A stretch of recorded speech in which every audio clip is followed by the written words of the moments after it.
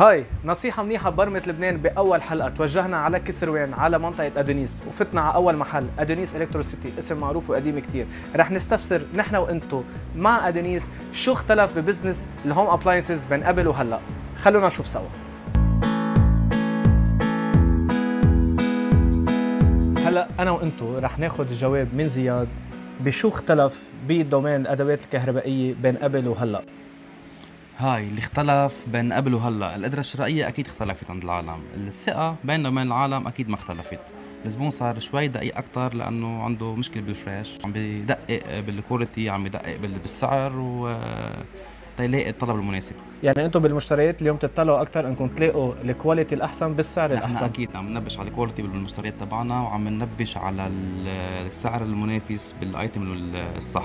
okay so نصيحة زياد كحدا بيشتري أدوات كهربائية هن صار ال target تبعهم أكثر إنه يلاقوا السعر الأنسب بال quality الأنسب. هلأ رح نشوف مع بعض الزبونات شو نصايحهم وشو عم بيواجهوا بالأدوات الكهربائية. آه، أنا بهمني أول شيء إنه الثقة بكون عندي ثقة فيه للمحل.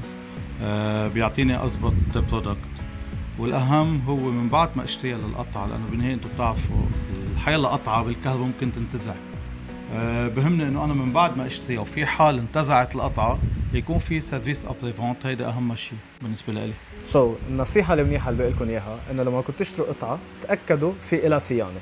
إنه نروح ننبش على الأدوات لأنه ما فينا بلاهم so, هلأ بما إنه كل شيء بالدولار فعم ننبش على الأرخص. إذا in case انتزعوا نقدر at least نبدلهم okay so, النصيحة تبعها لما عم ينتزع الغرض عم ننبشوا على الأرخص والأحسن. انطرونا بنصيحة منيحة.